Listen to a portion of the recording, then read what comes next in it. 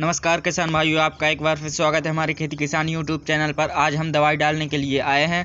यहाँ हम यूपीएल का सेंचुरियन डाल रहे हैं और आप देख सकते हैं हम किस प्रकार इसको डाल रहे हैं। ये आप देखिए, इसको डालने का तरीका और कितनी मात्रा में ये लेना है, ये हम इस वीडियो के माध्यम से आपको दिखाएँगे।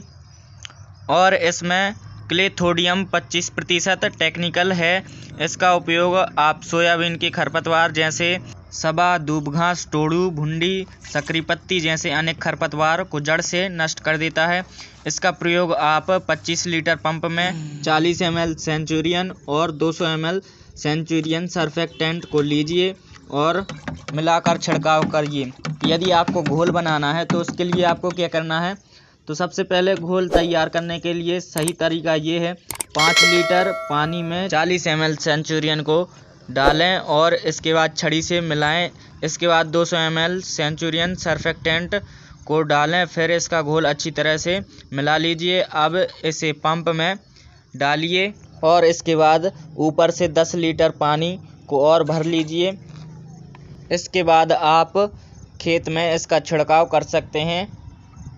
यदि आपकी फ़सल में कुछ ज़्यादा ही खरपतवार है तो आप पंद्रह लीटर पंप में चालीस एम मिलाइए। यदि कम खरपतवार है तो पच्चीस लीटर पंप में आप चालीस एम सेंचुरियन और दो सौ एम सेंचुरियन सरफेक्टेंट को मिलाइए और इसके बाद आप छिड़काव करिए।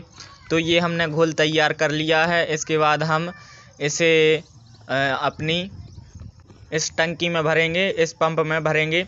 तो आप देखते रहिए इस वीडियो को। ये हमारा पंप पंद्रह लीटर का है। इसके बाद हम इस घोल को पंप के अंदर डालेंगे, फिर इसके बाद हम छिड़काव करेंगे।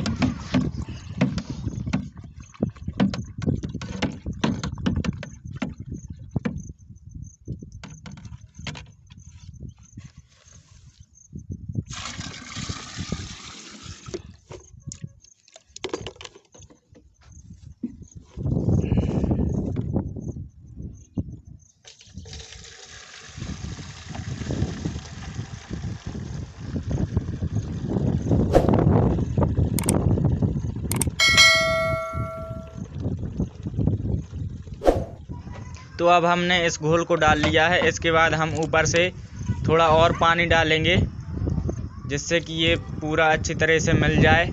फिर इसके बाद हम इसका छिड़काव करेंगे।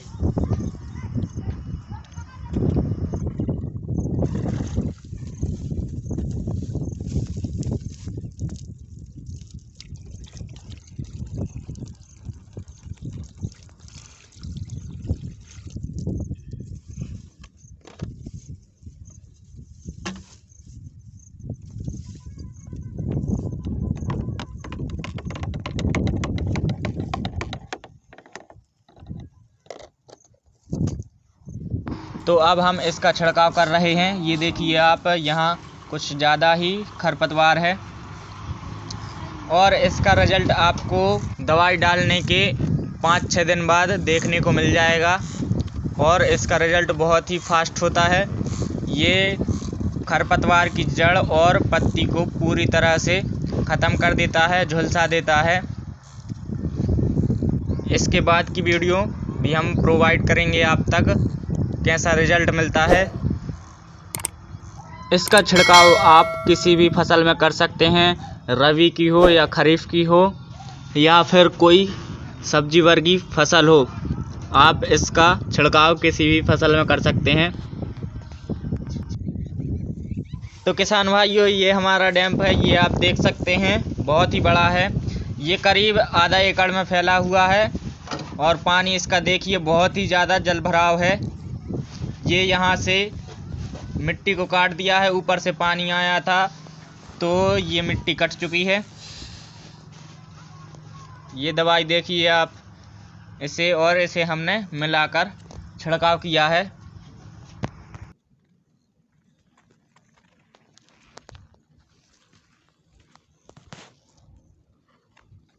तो किसान भाइयों, ये वीडियो आपको कैसी लग रही है? वीडियो पसंद आ रही हो तो वीडियो को कर दीजिए लाइक और अपने और अधिक किसान मित्रों को शेयर करें और ऐसे ही लेटेस्ट वीडियो पाने के लिए हमारे चैनल को कर लीजिए सब्सक्राइब और पास में लगी बेल आइकन को दबा लीजिए जिससे कि लेटेस्ट वीडियो आप तक बहुत ही जल्दी पहुँच सके। तो किसान भाइयों, यदि और कोई सवाल हो तो प्लीज़ कमेंट करें और दवाई के बारे में और अधिक जानकारी चाहिए तो आप बताइए हमें। और आप किस दवा का छिड़काव करते हैं, वो भी बताएँ हमें। तो मिलते हैं अगली वीडियो में, तब तक के लिए सभी किसान भाइयों को मेरी तरफ़ से राम राम।